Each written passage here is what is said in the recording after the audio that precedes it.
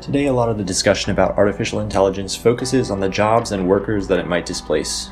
And while it's certainly true that many of our jobs will be affected by AI, it's also important to understand that AI has become a catch all term. Not all AI are created equal. In fact, there's an entire spectrum of AI applications, each with a range of capabilities that can be broken down broadly into three categories. When most people think about AI, they're thinking of autonomous intelligence. These are sophisticated software programs that operate without human involvement, making decisions based on specified goals.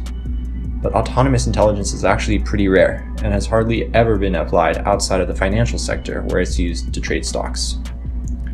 Next, there's augmented intelligence. These AI programs don't operate independently, but instead allow people to do things they couldn't otherwise do. One example is pattern finding.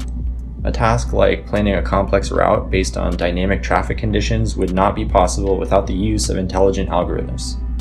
This type of AI is becoming more common, but it does require a large amount of very high quality data. Finally, there's assisted intelligence. This type of AI basically improves on our existing abilities. It works on clearly defined, rule-based repetitive tasks. This form of AI is already being used widely for tasks like data validation.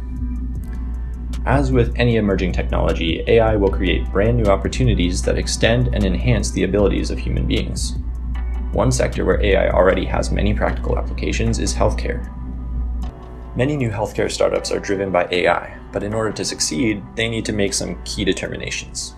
First, it's important to decide on who they're really creating value for and what that value actually is.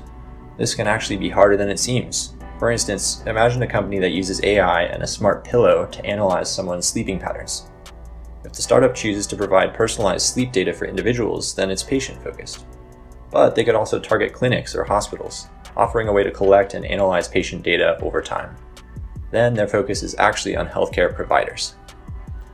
Next, they need to focus on value capture.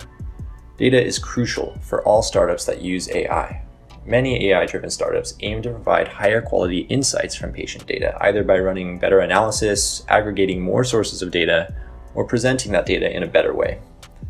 These companies would be considered information providers. Other types of companies are more focused on the steps beyond diagnosis. They serve as connectors by recommending patients to physicians or providing platforms for interaction and monitoring.